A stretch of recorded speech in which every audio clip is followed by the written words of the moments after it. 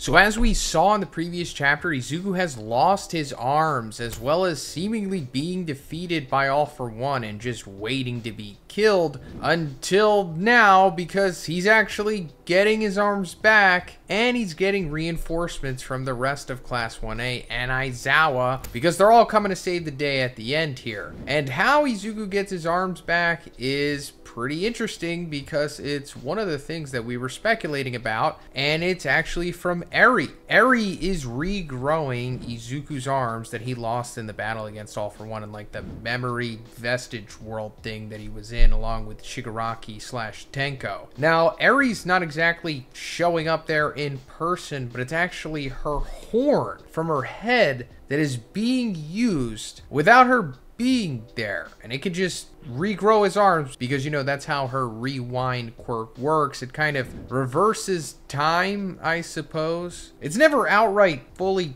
explicitly stated that that is the case i guess but that's pretty much what it is. Now, we'll also go into the logistics of that because we also have to go over uh, the beginning of this chapter, which is kind of crucial to all that stuff. So, we saw at the end of the previous chapter, Aizawa had showed up coming out of a Kurogiri warp gate right to where Izuku was to help him against All for One, along with Sero, Sato, and Jiro. And we're finding out how he was able to do that because the last time I think we saw Aizawa along with Present Mike was when they were kind of like pseudo battling Kurogiri. And it turns out that they had fallen off of UA and gone through Kurogiri's like activated warp gate and went to just some random island, I guess, or something. And there they were able to have their final breakthrough with him because, you know, Kurogiri originally is Shirakumo, who was like the third member of like their friend group between Aizawa and Present Mike when they were students in the second year of UA. And back in the day, Shirakumo was killed on a mission. We don't see this actually in the series, but it does happen in the spin off My Hero Academia Vigilantes. I think it was chapter 63 where Shirakumo was like on a work study mission with Aizawa, and while they were in the city, there was like this villain Garvey, and he attacked. I think it was like a uh, elementary school or something like that, preschool, something like that. And as Shirakumo was like trying to protect the kids with his cloud quirk, he was like hit by the falling debris, and it essentially killed him. However, before his body was able to be recovered by like the heroes or the police or the firefighters or whatever, of course, it was Dr. Ujiko who was able to find him. And with his body, Ujiko was able to make him into a Nomu that we know now as But first, let's talk about the sponsor of this video, Ekster Wallet. So if you've been following my channel for some time now, you'll know that I love the Ekster Wallet. I've been using it for almost four years now. In fact, Ekster is one of the first sponsors that we've had on the channel. And the main reason I love Ekster Wallet is because it's super slim and it has quick card access. That's right, it has a trigger mechanism that pops up your card. Like I said, I've been using this for almost four years now and it still never gets old. Recently, I just got the Parliament wallet, which has premium leather, extra pocket for cash or cards, holds up to 12 cards, blocks RFID, which is wireless theft, and comes in six colors. You can also get a tracker card for it, which always lets you know the location of where it is. It also has a ringing feature and has a three hour solar charge that lasts for two full months. So guys, now is the best time to get an Ekster wallet because they're currently running their spring sale where you'll get up to 20% off site wide. But also, if you use my code ZHONIIN1, you'll get up to 25% off. Thanks, guys. He like altered his cloud quirk into becoming Kurogiri's warp gate quirk, and he also altered like his personality so that he would become like the caretaker uh, of Shigaraki, I suppose. But as we saw, you know, way back when Kurogiri was captured and brought to Tartarus and was interrogated by Aizawa and Present Mike, there still is like an aspect of Shirakumo in him, in there somewhere. And they're able to bring that forth again here in this chapter, but not fully bring Shirakumo through. Like, the way that they talk about Shirakumo in this chapter, it doesn't seem like he'll ever be able to go back to being just fully Shirakumo again. The best they could do is kind of bring him to like this half state of consciousness between him and Kurogiri, but they're able to do that long enough to get full control over Kurogiri's quirk. So now they can just start teleporting all over the place and start bringing people to the battle, you know, in order to help Izuku and finally end this war. Also, let me put it out there that this is yet another problem that Eri can easily fix, in my opinion. If she was able to gather up enough time energy in her horn for her rewind quirk to activate long enough, she could, in theory, rewind Kurogiri back to being Shirakumo. And I really don't care if you guys disagree with me on that. I know Eri's rewind capabilities are very decisive, but given from what we've seen, pretty sure she could do that. And we're also going to talk more about Eri's quirk and the possibilities of it and the fact that Horikoshi doesn't want to abuse it because I guess he just thinks it would be too easy and maybe would ruin the story. In my opinion, I don't think it would, uh, but you know, we'll, we'll get into that a little more. But anyway, like I said, now that they have slight control and temporary control over Kurogiri's warp gate, now they're able to go to where Tsukauchi is in the one of the shelters and they start asking for whoever can help them because uh, apparently Monoma is unable to fight anymore because he has like a concussion or something. Because earlier on in this arc we saw that Monoma was using Aizawa to be like a conduit for his erasure quirk. But I guess they're not going to be able to do that anymore. I'm sure Monoma will come back in at some point at the end here. But we see that one of the people that Aizawa is able to recruit here at like this shelter is a character by the name of Astro. Now, don't worry, we've never seen Astro before in this series, but if you're like a hardcore Horikoshi fan or just hardcore into Shonen Jump, then you probably know who Astro is because he was from a series that Horikoshi previously made and was actually published in Jump back in 2012. Uh, the series is called Sensei no Bulge, or I think it's also known as Barrage. But yeah, this guy Astro was the main character of that series, and unfortunately, it only ran a couple months in Jump, which of course meant that it was canceled. Which is actually pretty impressive for Horikoshi because he went from, in a span of like months, having this series canceled and then making My Hero uh, later on in 2013. And of course, it went on to be one of the biggest Jump series of all time. So it shows you guys don't give up on your dreams or, or don't even just give up on trying to achieve something. It doesn't even have to be your dreams. I don't want to be too sappy with that stuff. But yeah, just keep going. It's okay to fail. You're, you're going to learn a lot from it. You're, you're probably going to learn more from your failure than your victories, to be honest. But anyway, I don't think this is literally Astro. It's just some guy that looks like him. It's kind of like an Easter egg because Astro lives in like a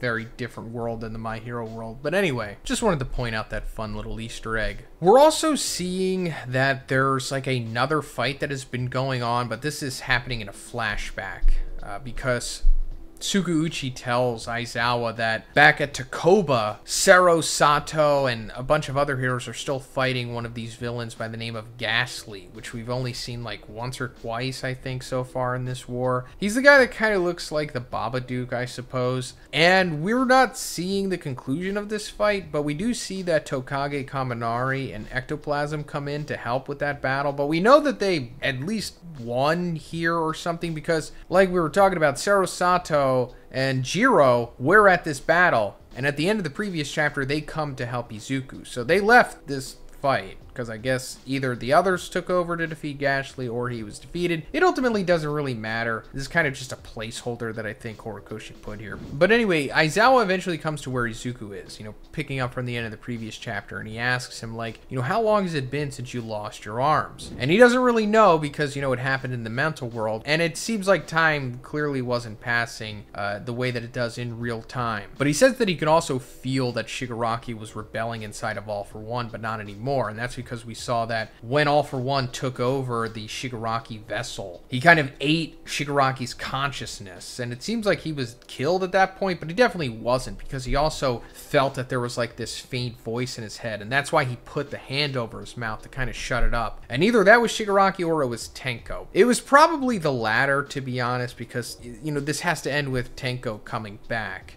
Shigaraki's kind of a lost cause, and it was always showed that there was an aspect of Tenko still there. But then we're coming to Eri, because we're seeing a flashback of her giving her horn to Aizawa. You know, like we said, this is how Izuku's going to grow his arms back. And apparently she broke off her horn with the help of ectoplasm, because I guess she was inspired by Aizawa cutting off his leg in the previous war when Shigaraki threw the quirk destroying bullet at him, you know, so that it wouldn't spread to his quirk factor. But she gives the horn to Aizawa because she knows that she can't go to the battlefield and that she was also waiting to use this on All Might and Bakugo. And here's where I'm going to go into my little mini rant about all this stuff. First of all, I have been campaigning for Eri to use her quirk on All Might uh, since Eri was introduced, essentially. And I honestly think it was a waste that she didn't. Because if she rewound All Might to a state of where he could, you know, deliver a United States of Smash, you know, at least bring him to like the beginning of season three mode, he would have been so monumentally helpful for the rest of this series. But then again, I guess it just would have been too easy, right? I mean, that's why All Might got shelved, because he was too powerful. I'm not going to give you any spoilers on other series, but that's happened in, a, in another really big shonen lately. There was a character that was just too powerful, and they kind of had to bench him, because I guess the story would have just been too easy. But then again, like at this point, you could just keep upping the power creep, because only Izuku and Shigaraki and All For One are leaps uh, above everyone else. So it ultimately comes down to just Goku having to save the day. So if you could just have more people out there that that are around that level of power, I think it makes things more interesting. And especially All Might's my favorite character,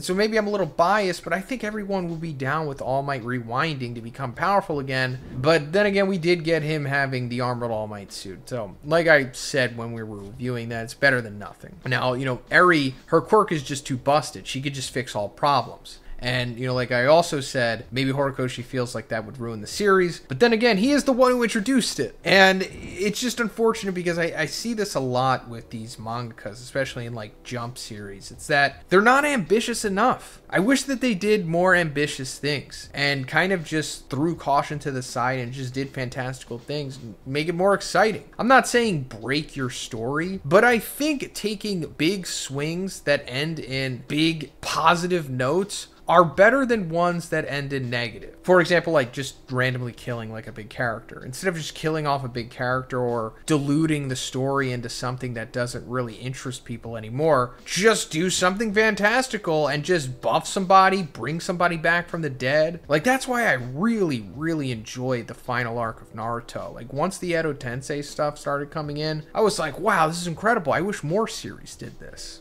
But I digress. Eri ultimately says that she wants to sing like Jiro because, you know, that was like her big moment in the series, the end of season four. After all the overhaul stuff wrapped up, she saw the big concert. And she kind of wants to recreate that essentially. That's like her dream. And that she wants Deku to see it uh, along with everybody else when the war is over. So I guess that's kind of a hint as to what the final chapter will be, maybe, or one of the final chapters after this is all wrapped up. But Aizawa was like, hey, you know, this is what Eri wants. You can't die until you hear her sing. So then he gives Izuku the piece of Eri's horn, and his arms that he had lost start to grow back but it says that it should take like two to three minutes for him to heal. So that's like a little timer there, which is nice because we also see other portals opening with essentially the rest of Class 1A coming through. We don't literally see all of them. We see Mineta, Kaminari, Shoji, Momo, Koda, and some others too. But it would just be fitting to have it come full circle here and all Class 1A students come through to fight all for one, uh, you know, in their last moment in this series or their last moments of battle in the series. And I guess Aizawa is going to help them, you know, being the class teacher, uh, with Erasure to shut down All for One's quirks. He's still powerful, of course, but at least he can't use all of his busted abilities. And then while they're fighting him, that will be enough time for Izuku to regain his arms. Now, I don't know how far back he's being rewound here. I don't know if Eri's horn is bringing him back to having a quirk factor again so that he has one for all or he has embers of it. It's still not fully explained. We still don't really know what's going on with this stuff yet, but I wouldn't be surprised if he gets rewound enough to have at least the base one for all. Like, he's probably not going to have the other vestiges, quirk factors in him, which I think is fine. If he just is like All Might, you know, I think that would be pretty cool, unless Horikoshi just plans to end the series with him ultimately being quirkless, which I guess would also be bookending the series. He starts the series quirkless and ends the series quirkless, but still as a hero somehow? I don't know. I mean, obviously he couldn't be like a full-blown hero without one for all. I mean, I guess he could have support gear, but that would kind of be lame to be honest. But um, I, I'm not really sure. But let me know what you think is going to happen with Izuku. Is he going to be rewound enough to have the quirk, or is he just going to be quirkless and I don't know somehow be strong enough to land like a finishing blow, or he doesn't?